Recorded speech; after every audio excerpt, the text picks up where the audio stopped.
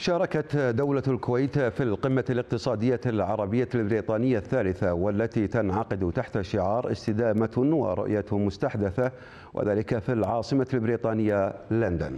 هذا وقد حمل الأمين العام لجامعة الدول العربية أحمد أبو الغيط الأمم المتحدة مسؤولية عدم استقرار الوضع في المنطقة وفي استمرار الجريمة التي تنفذها قوات الاحتلال الإسرائيلي في غزة.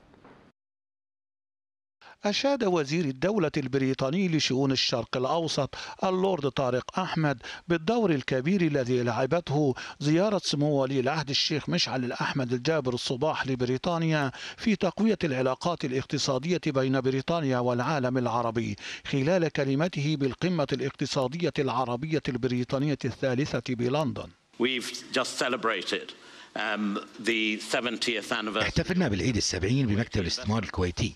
خلال زيارة سمو ولي العهد الكويتي لبريطانيا وبدء الحوار الاستراتيجي مع الكويت والذي دفع العلاقات بين بلدينا للأمام. وأشكر سعادة السفير دولة الكويت والذي تحرك بديناميكية عالية منذ وصوله وخلافة عميد السلك الدبلوماسي السابق وما انعكس على العلاقات بيننا بالإيجاب والازدهار. كما شدد على ضرورة العمل سويا من أجل إحراز تقدم لإنهاء معاناة الشعب الفلسطيني في قطاع غزة مؤكدا على التعاون مع مجلس السفراء العرب وخصوصا سفراء مصر والأردن وسفير دولة الكويت بدر العوضي.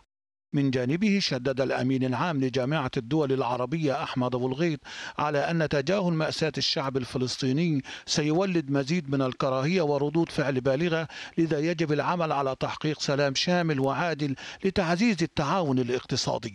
نشعر بخيبة أمل عميقة في المنظومة الدولية التي تتيح لهذه الجريمة أن تستمر أمام سمع وبصر العالم. العالم كله لأسابيع بلا توقف.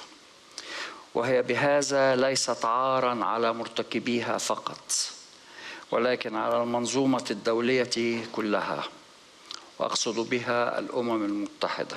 وحضراتكم جميعا تعملون في مجال التبادل التجاري والاستثماري. وتعلمون كم يتأثر مجالكم وأعمالكم بانعدام الاستقرار في هذه المنطقة. تأكيد من القمة العربية الاقتصادية البريطانية على أهمية الاستقرار في الشرق الأوسط وإقامة الدولة الفلسطينية والتي ستلعب دورا كبيرا في دعم العلاقات الاقتصادية والسياسية بين بريطانيا والعالم العربي. جمال شاهين تلفزيون دولة الكويت لندن.